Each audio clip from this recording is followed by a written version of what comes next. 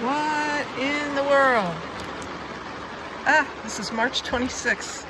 Zone 6B. I guess it's all this global warming. I think this is this is hail. Uh, I'm gonna try to make it to the house. We shall see how this goes. Good that. Woo! We are having a hailstorm. I'm in the big hoop house, and there's the little hoop house getting ready for the tomatoes to get planted into it next, uh, well, in about three weeks. Hopefully, when the hailstorms are all gone. Yeehaw! Whoa! They're little pellets. Ah! They're little pellets. Whoa! It's cold.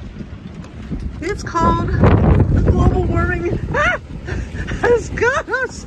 Holy mackerel. Whoa. Whoa. It's cold. I'm going back in the house.